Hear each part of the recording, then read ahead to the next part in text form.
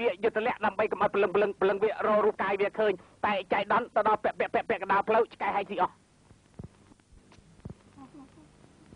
ឯងកុំទៅភ័យលោកគ្រូដឹងថាយើងច្បាស់ជាធ្វើអញ្ចឹងហើយម្ល៉េះហើយគាត់អត់ប្រកាន់យើងទេឯងជឿអញអាចង្រៃឯងឆាប់ទៅរករូបកាយរបស់គេបញ្ជូនឲ្យគ្រូអ៊ំឯងភ្លាមមកចុះលោកគ្រូគិតធ្វើយ៉ាងម៉េចអញក៏ទៅជាមួយឯងដែរត្រូវរកឲ្យឃើញមុនថ្ងៃរះអូយចុះបើព្រលឹងវាចូលរូបកាយវាមិនទាន់អញឈប់ទទួលឯងជាសិស្សរបស់អញតទៅទៀតហើយ ទៅភ្លាមណាអគ្មានបញ្ហាទេតែថាម៉េចអត់ថាម៉េចអត់ថាម៉េច